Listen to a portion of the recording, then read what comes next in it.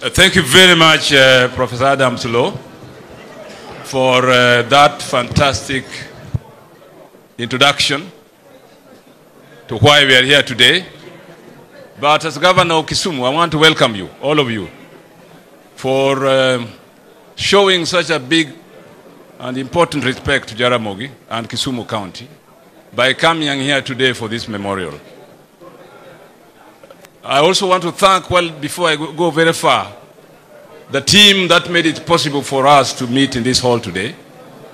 The history of this hall for the last 30 years or so is something that will be told later. But what we see here today, two weeks ago, we would not have been here. I want to thank my Deputy Governor, Dr. Owili, and the Minister for Culture and Gender and Social Services, Mheshimiwa Wadiaga, Beatrice, and particularly Abala Wanga, the city manager, and the team that works here tirelessly. I thank you all for making us meet here this morning and this today. But more particularly, as I welcome you to Kisumu, all of you, I also want to thank the following people for coming here, especially first, Mama Margaret Kenyatta.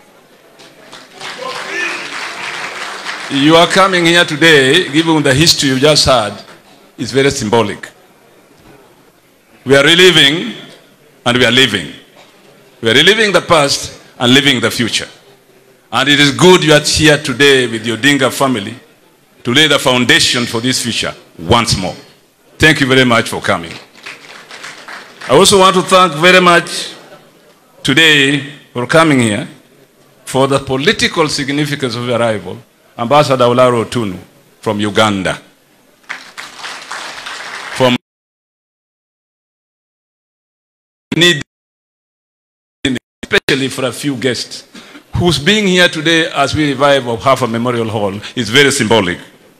Let me also thank Gitu Kahengeri, Mzee Gitu Kahengeri, a veteran of the Mau Mau struggle. I am told that Gitu is about 100 years old, and yet he came here today to make sure that he's present at this occasion. Let us respect Mr. Gitu Kahengeri with our applause. Thank you very much. I also want to thank finally, I would have thanked you all who have come here, but Mama Rael Mbogo. Mama Rael Mbogo, where is she? She is there. Now, if you know the history of that mama in Nairobi and Iluo politics and national politics, it is good he is here to represent that tradition of valiant, valiant women in Kenya who have been part and parcel of this struggle. And finally, the family of Jaramogi Oginga Odinga who made it this possible, led by Oburu Odinga, now the doyen of the family, and Raila Odong- Oginga, Raila Amolo Odinga, whose family now bears the responsibility of making sure that Jaramogi's legacy lives in the political history of this nation. I welcome you. Thank you very much for coming to Kisumu. We are honored. We are pleased. We thank God for the sermon this morning that laid the ground and the road for the future. Bwana Yesu asifiwe. Hallelujah. Karibuni Kisumu. Thank you very much. Thank you very much, Governor Anyang' Nyong'o. As you know, the Jaramogi family is today remembering Jaramogi.